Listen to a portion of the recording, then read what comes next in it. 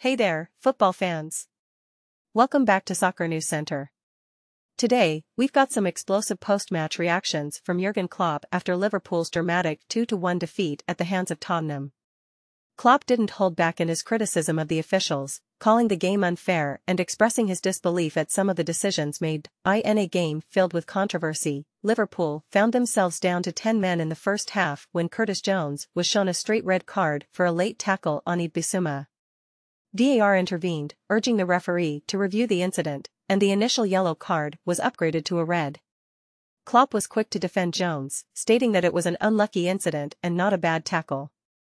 Despite being a man down, Liverpool managed to equalize just before halftime through Cody Gakpo's fantastic goal.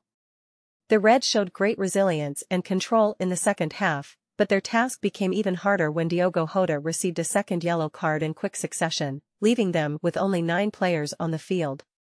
Klopp praised his team's fighting spirit and mentality, saying he had never been prouder of them. However, he expressed his frustration with the officiating, particularly highlighting the incorrect decision to disallow Luis Diaz's goal for offside.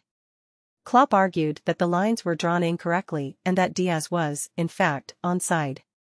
The Liverpool manager's post-match interview was filled with passion and disappointment.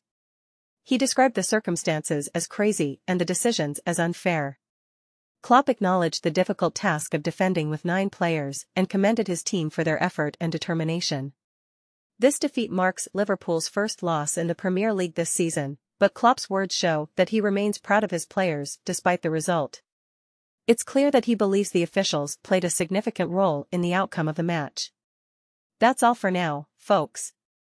What are your thoughts on Klopp's comments? Do you agree with him? Let us know in the comments below.